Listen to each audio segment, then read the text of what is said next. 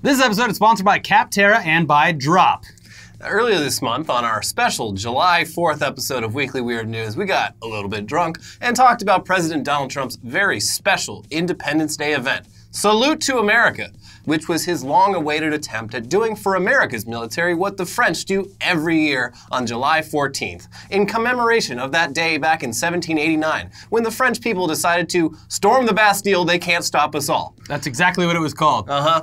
Trump had been in Paris for Bastille Day back in 2017 and was quite impressed by the parade's display of raw military power. But as we saw on July 4th, his attempts to recreate the Bastille Day experience over here amounted to giving a speech in the pouring rain next to four stationary armored vehicles, all thanks to the liberals over at the Pentagon. and the ones that were seeding the clouds with all that rain. Yeah. And the ones who built all the shitty roads in Washington, D.C. that can't support it. Mm-hmm. Everyone's everyone's against him. Well, after this year's Bastille Day parade this Sunday, I, I don't think we've heard the last from Trump about this sort of thing. Uh, because this year, the highlight of Bastille Day was a guy flying through the air on a hoverboard holding an assault rifle. It was fucking awesome. Yeah, so uh, top that. Yeah. It was apparently not all that impressive to French President Emmanuel Macron, who couldn't even crack a smile for the spectacle unfolding before him. He was probably scared. We have this technology. What have I done? But uh, on the internet, at least, France's flying soldier got the holy shit reaction that it deserves. I mean, can you believe it? It's just like in the movies. Specifically, it's just like in the 2002 film Spider Man, except it's real life. And uh, we've never really seen anything like this before. I mean, we've seen short hoverboard trips. We've seen the hoverboards that the millennials use that get caught on side sidewalks. Those don't count. And we've seen the water jet hoverboards, but Yeah. none of them had assault rifles. Yeah. So we, we've seen stuff like this before. We've actually seen this exact flying vehicle before, Yeah. minus the gun. Uh, but it is it is weirdly, uh, for some reason, jetpacks and similar technologies, they're all kind of forgettable. Like they've been around in one form or another for the last 60 years. Oh, yeah, They- we did that, They huh? show up at sporting events and fairgrounds and on the internet on a fairly regular basis. The fan man has been Yeah. around for years. Yeah, everyone sees it and they're like, wow, that's cool. Uh, and they forget because they're really impractical and inefficient and it never goes beyond just like a guy flying around for 10 seconds. Also, uh, I mean, any experienced skeet shooter could take that guy out of the air. Yes, a very good point. Yeah. He's not well protected up there. No. But yeah, ever since the earliest examples of jetpacks, though, uh, going back like 60 years, the military has been very interested. And the specific models seen flying around on Bastille Day might actually end up being practical enough for military use. Until we get to Iron Man. Then it'll be old trash that the, the commoners can have. Yeah, Oh, you want to fly around? Do it on the old model. Yeah. Well, the guy flying in Paris on Sunday was Franky Zapata. Uh, he's been showing off his Zapata Flyboard Air since 2016, and it's quite impressive. All modes of personal air transport are severely limited by how much fuel they can carry while still being light enough to fly, but the Zapata Flyboard can fly up to 93 miles per hour or 150 kilometers per hour for 12 minutes while carrying up to 225 pounds or 102 kilos. We're doing the math these days. I mean, he's a Frenchman. He Very light. he flew his thing over France. The least we could do is convert our measurements into metric for you. Has he been able to cross the, cross the English Channel yet? He plans to do it Yeah. uh, later this year. That that's like his next big feat. He's gonna have to make some like modifications to it, but Yeah. uh, at its narrowest point, the English Channel is 21 miles long. Mm-hmm. So he's he's trying to go uh, from Calais to Dover. Yeah, they did the uh, the jet suit guys did it, didn't they? Yeah. No. Anyways, this thing can actually reach altitudes of up to 5,000 feet or 1.5 kilometers, which is all very impressive considering that up until recently, this sort of technology could only stay in the air for very, very short periods of time before it would run out of fuel. Still, though, there's a reason every demonstration of this thing has been operated by the guy who invented it. It's fucking dangerous. And even Franky Zapata himself admits that during testing he crashed a bunch, and that anyone trying to ride this thing without 50 to 100 hours of training on the Zapata water flyboard, they're probably going to die. Yeah. Boom! Right into the earth. Yeah, don't do it. However, there is a simpler, safer model called the Easy Fly that Zapata has been marketing to various militaries, which comes with two mounted handlebar joysticks for control, as well as a tablet displaying relevant information and an auto hover mode where the software takes over. It's Like a Segway in the sky. That's when you unholster your gun and you fire away. The drone is doing the job for you. Sure. Uh, Zapata collaborated with the U.S. Special Operations Command starting in 2017 to develop the Flyboard's military variant known as the Individual Aerial Mobility System, or IAMS. IAMS. IAMS. Who's flying? IAMS. And uh, last summer, they even tested out the Easy Fly for two months to see how easy it would be to train special operation forces to fly it, and also test out just how practical it could actually be on the battlefield. No, you're going backwards. You already have drones. Yeah. It's unclear what the ultimate conclusions of that testing were. I'm sure everyone had fun. Yeah. Uh, but it, it's entirely possible that these things could be part of our military arsenal in the near future, unless France snatches them all up. Yeah. It's an arms race, baby. They were, they were the first country to weaponize it. Yeah. So there you go. Now, of course, there's still a ton of limitations here. In addition to running out of fuel after just 12 minutes in the air, these flyboards, they're loud as hell, making them useless for covert operations. Yeah, you're, and not, you're not sneaking up ahead on anyone in these things. you run out of fuel, you're you're behind enemy lines. Yeah. The uh, SEAL Team Six here, here at SEAL Team Six, we're known for uh, letting people know we're coming just miles in advance. What's that sound? Weird. Uh, anyways, the design of this whole thing it completely leaves the operator open to uh, enemy fire, like we said before. It's, Yeah. Uh, Yeah. not really hard for any experienced marksman. But um, it's not it's not even clear whether they'd be able to return fire if they were to be fired upon. Yeah. You'd- without the stabilization, it's going to shoot you backwards. Yeah, and like they they haven't said whether the gun he was flying around with in Paris was even real. Cause like Well, that would have been dangerous. like it de- it, de- it definitely it didn't have a, a magazine in it. Yeah. Um, but uh, Well, it's- what it's- he needs- it's not clear if it was like plastic because like a real gun weighs that's some weight and a lot of flying this depends on like you know your own body weight shifting.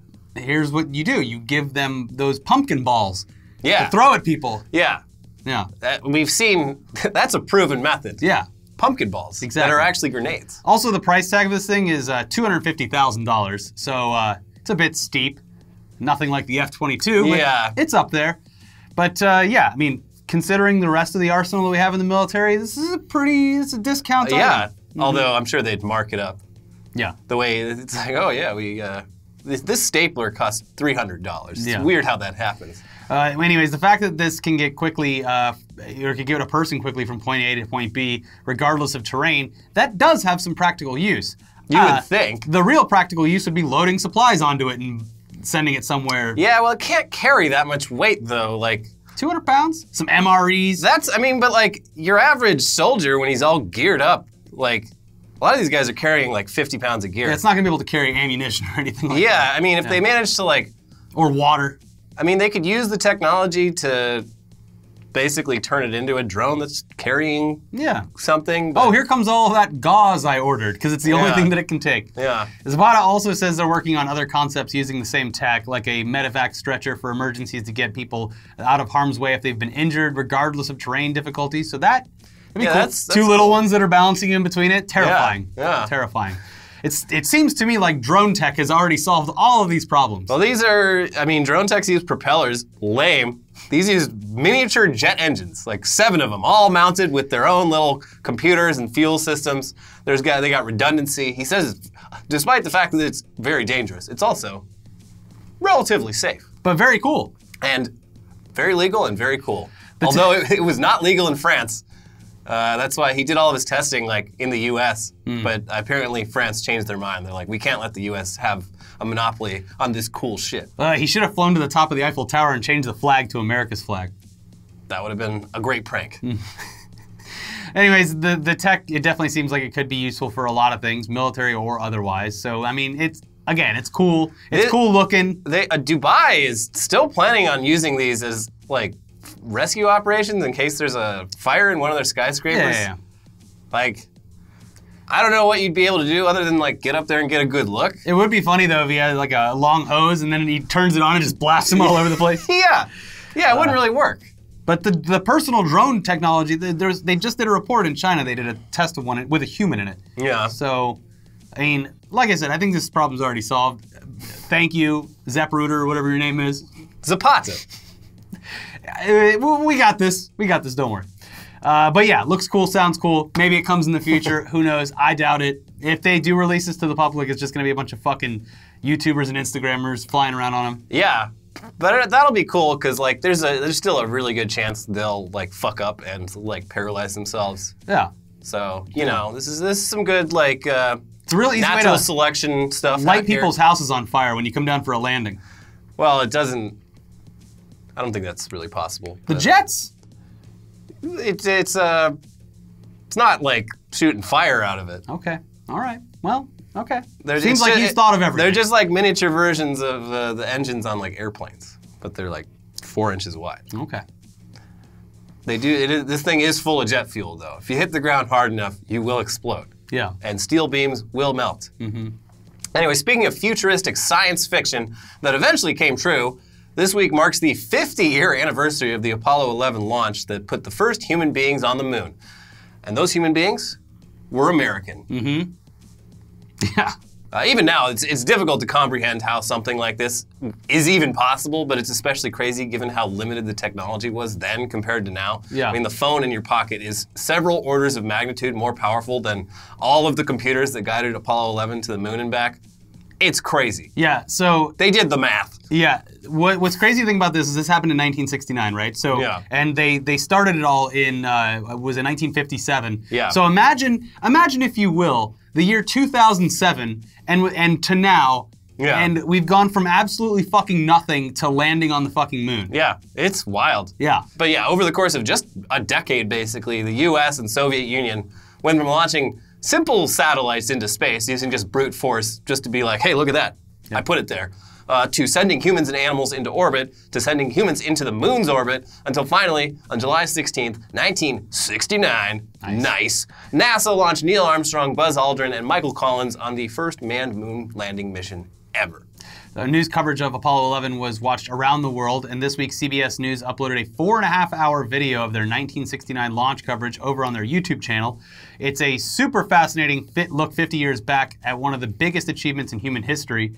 Uh, for one thing, you get a sense of the sort of real time anticipation that people felt while watching this all and waiting for it to take place. But also, you get a bunch of weird old 1969 ads Yeah, they're very strange. as well as uh, other little news segments that aired during the broadcast, like uh, weather, sports recaps, Vietnam War updates, and a few human interest stories, like one about a mailman. Yeah, they were. Uh, Mailman! they were worried about it being boring because they're just like, we're just watching this thing Yeah. sitting there. Yeah, Like, we got to fill this time. yeah. Um, There was also a recent story. eh, It has nothing to do with this. We'd have to dig back through because I had it for news dump one week, but I ran out of time. But uh, some woman just recorded like a decade of uh, her local station onto like a hundred thousand VHS tapes. oh, Yeah. shit. So it's there. The project now is digitizing all that. Yeah, that stuff's like fascinating. There's, I mean, obviously, there's a ton of long videos on YouTube of just like TV ads, Denver, Colorado, Fox station, 1992. Yeah. There's just people who, for whatever reason, were obsessively keeping track of this stuff. And you can put it on, it's like, especially this, the stuff that was in my lifetime, it like triggers this crazy, like, Oh, yeah. reflex in my brain. Like, oh my God, Yeah. I'm five years old again. Nostalgia. Yeah. Anyway, the, the whole thing, it's very cool in how uh, uh, it lets you experience an event as not just something that happened in the past, but in the exact way that most Americans experienced it when it happened. And hopefully later this week, for the anniversary of the moon landing, they'll upload their original coverage of that as well. Uh, there's also a fantastic three part series that was just uh, put up on PBS Oh. and it's it's incredible. Each part is like two hours long, and it starts from like the beginning, Gemini and all Yeah, that yeah. stuff, and and uh, Yuri Gagarin, and it and it ends with what we're working towards in the future. But it's an incredible three part series. I'll have to check that out. PBS does, uh, Fantastic work. Fantastic And work, American yeah. Experience is a wonderful, wonderful show. yeah. Um, and I mean, obviously, there's, I haven't watched Apollo 11, the documentary yet. Oh, it's it's awesome. Yeah. There's, There's uh, not a lot of talking in it at all. I think there's like Nah. there's well there's I think there's zero nar- narration. The only talking you're hearing you're hearing is from uh, the people talking to the astronauts Yeah. There was a similar doc that came out in like the late 80s called For All Mankind. I think, that was like, it was also, because they, I didn't realize this, but Armstrong and Aldrin were on the moon for like 21 hours. yeah. Like they were just like walking around just filming shit. They, they got sent up there with like some of the nicest cameras in existence. And they're just like, yeah, I mean, there's not a lot going on up there, but just like drive around and film shit. So They didn't drive around on the first one. Well- they didn't bring the car up on the first one. well, uh, the For All Mankind doc features car footage Yeah. From one of the landings. But yeah, it was, uh, it's crazy stuff. Great, great reenactment if you're interested. It's a show called Moonshot that came out about a decade ago. Yeah. Really good stuff. Yeah. And the lead up, uh, uh, the movie, uh, The Right Stuff, very good. Watch all of this. It's Yeah. actually fascinating. Space is fun. Yeah. Uh, anyways, time for some sponsorship stuff. This Yeah. episode sponsored by Capterra.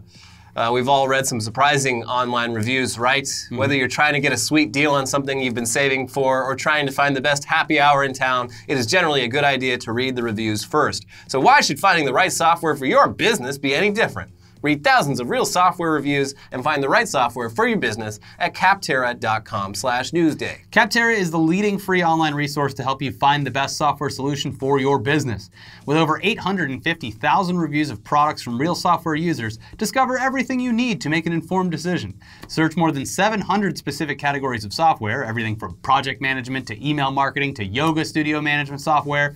No matter what kind of software your business needs, Capterra makes it easy to discover the right solution fast. Join the millions of people who use Capterra each month to find the right tools for their business. Visit capterra.com slash newsday for free today to find the tools to make an informed software decision for your business. That's C-A-P-T-E-R-R-A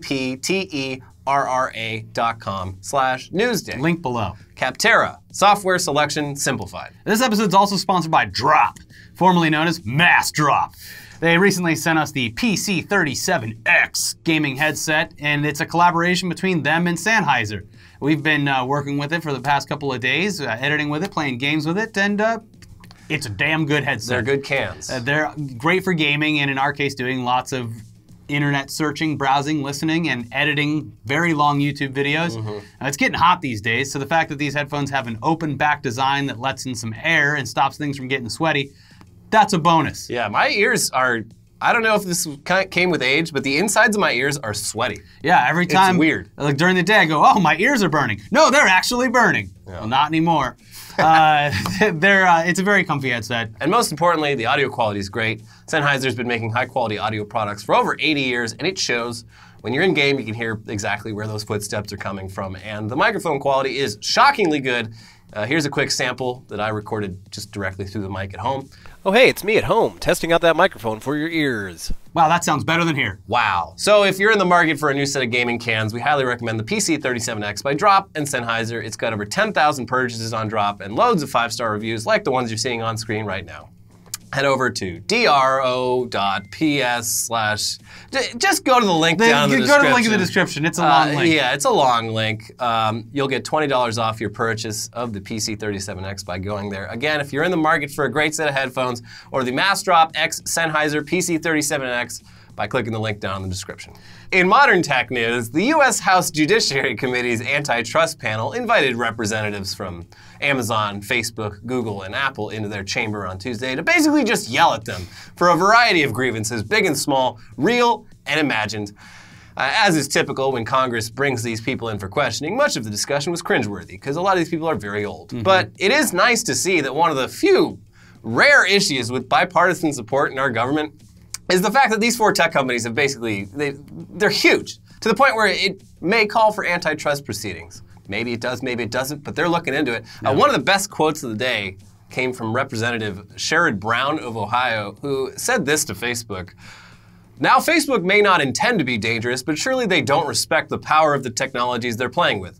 Like a toddler who has gotten his hands on a book of matches, Facebook has burned down the house over and over and called every arson a learning experience. Well, it is if you're an arsonist. Yeah. yeah. They're getting really good at arson. Yeah. Wow, Facebook's getting really good at committing crimes. Mommy, can I get one of those Elon Musk blowtorches for my birthday? I think I've graduated from matches. Uh, uh, fucking what's his name's brother's really upset about the Elon Musk flamethrower. Uh, the, the the coke guy from uh, the Medellin cartel guy. Pablo Escobar? Yeah, his brother's like suing Tesla or Elon Musk. Why? for- he thinks that he stole the fucking flamethrower idea. Anyways, Well, okay. uh, this all this Facebook thing it comes on the heels of last week's House and Senate committee hearings on Facebook's Libra cryptocurrency, bad idea, during which Congress was understandably skeptical or downright hostile about the idea of Facebook starting its own currency, especially since they plan to launch it less than a year from now. Again, this is a rare bipartisan issue, and the biggest evidence of, uh, of all of this is the fact that Donald Trump himself in between tweeting out various insanities from the past week, tweeted on Friday that not only is he strongly against Libra, but cryptocurrency in general. Though There's a strong possibility based on the grammar and syntax that he did not, in fact, write this himself. Probably Steve Mnuchin. Yeah. Uh, regardless, the reaction from disappointed crypto lovers, some of whom also love Trump, uh, that was fun to read. Mr. President, please reconsider. You're hurting the wrong people. Yeah. The classic quote. All right, well, let's get through a few more quick news tidbits. Uh, if you've got an Android phone and you use Google Assistant, uh, or you've got a Google Home device in your house, here's some fun news. A guy over in Belgium who was hired as a contractor by Google to review and transcribe recordings in order to train the AI behind Google Assistant just went ahead and released over a thousand of those recordings to Belgian news organization VRT. Uh, they then listened through a bunch of them and were able to use context clues from a few of the recordings to figure out who the voices belong to. So yeah, you probably know that everything you've ever said to Google Assistant is stored online, and you can delete it. You should look into that. You could also yeah, go find it. It's shocking to hear Yeah. how much of your voice Going back on your phone. years. Yes. Uh, but now you know that there's a slight chance that a human being is listening to some of those recordings. And you'd actually be forgiven for not knowing that because, unlike a lot of other shady aspects of tech, Google doesn't actually tell you in the TOS that your voice recordings might be listened to by humans. Well, oopsie. Yeah. Yeah. And uh, according to uh, three of these transcribers who spoke to VRT, uh, they sometimes hear stuff like account numbers and passwords, which they're told to mark as sensitive, but you know, no one's keeping track. Yeah. Uh, they also hear medical questions, pretty personal, and uh, even sometimes hear people who are clearly in distress. Yikes. They say there are no guidelines for what to do in those cases. Awkward. Uh, so yeah, that's just something to I don't know keep in mind next time you use that little surveillance device in your pocket. Yeah. They hear like couples getting in fights, babies crying, like all kinds of fucking weird shit. Yeah. Well, all, all typical shit that should be happening in the privacy of your own home. Not not babies crying from being strangled or something. but Yeah. Babies cry. Yeah, and People it, get also fights. like not it, fist fights, vocal fights. it errs on the side of uh, it's pretty generous with picking up uh, its like command words. yeah. So you can do this. You can go look through your bank of recordings. Like a lot of them. It's didn't like, even try to yeah, it's it, like yeah. when you didn't even turn it on, like it was just in your pocket, and it was like, "Wait, did you say something?" So it's it's fucking weird. He might have said something. I should probably turn on the Yeah, recording. I should probably turn on the recording and then send this over to the guy that uh, you know teaches the AI how to do it. Yeah. Uh, anyways, in gaming news, if you're a PC gamer and you use Steam, they've released a pretty useful new experiment tool called uh, Recommender that uses machine learning to recommend games to you based on your gaming habits. There's an adjustable slider to filter recommendations based on whether you're looking for something that's popular or niche, and another slider for limiting results based on how recent of a game you're looking for. You can also filter by Steam's existing tags. Uh, if your if your Steam recommendations have gotten stale or you're just completely overwhelmed by the Steam Store's offerings, it's a great tool for finding potential purchases that you might not have known about otherwise. Yeah, I was pretty impressed with it because, like, lately the standard Steam store has been recommending me shit I'm absolutely not interested in. And I, as soon as I logged into this and started like messing with it, it showed me games I've literally never heard of that I clicked on. And I was like, yeah, I, this is like very much my shit. Mine's nothing but hentai puzzles. Yeah.